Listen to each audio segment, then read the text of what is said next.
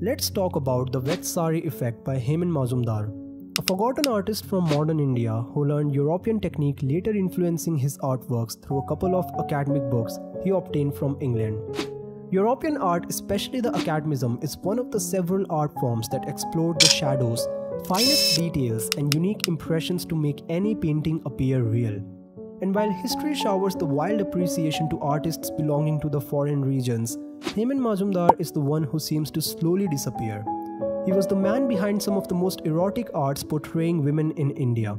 From expressions to convincing backgrounds to the wet drapery effect that he adored with a semi-transparent cloth essentially the sari, soft skin and a drapery for final touch.